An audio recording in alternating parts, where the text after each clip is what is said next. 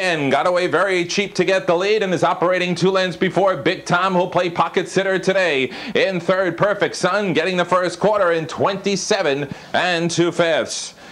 Dragon again, who owned them in the country earlier this year. We'll see if we can get his new streak going today. Leads at a couple of lengths. Big Tom sitting in the spot in second. On the inside, Perfect Sun third. Working in fourth is Dauntless Bunny. Then racing out of five is Tulane. On the inside remains BJ's Whirlwind. And Jetlog begins to get his engines going.